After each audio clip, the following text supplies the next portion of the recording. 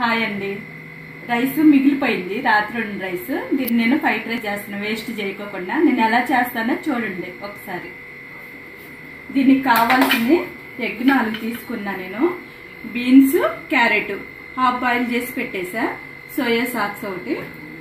ఉల్లికాళ్ళు ఉంటాయి కదా అవి ఒకటి. మిర్చి కొత్తిమీర. సాల్ట్ పసుపు అవి కారం. అది కామనే కదా తెలుసు కదా. ఆయిల్ ఆయిల్ మన తగ్గంత వేసుకోవాలి మనం.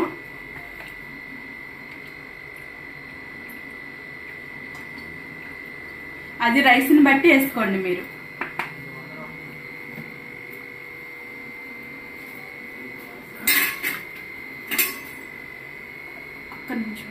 అల్లం పేస్ట్ వేసుకోవాలండి కొంచెం అంతా. ఇది కొంచెం ఫ్రై అవ్వాలి. ఇప్పుడు ఎగ్ వేసుకోవాలండి.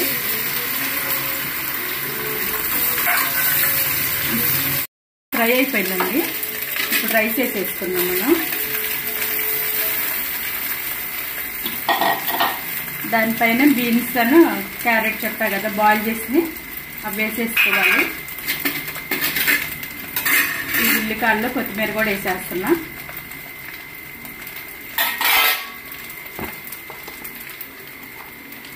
సాల్ట్ మనం తగినంత వేసేసుకోవటమే. కొంచెం పసుపు. పసుపు ఎక్కువ అవసరం లేదులండి దీంట్లోకి.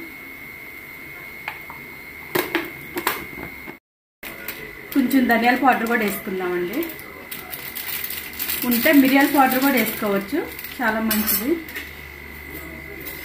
ఇదంతా కలిపేసేద్దాం. కొంచెం సోయా సాక్స్ వేసేసుకుందామండి.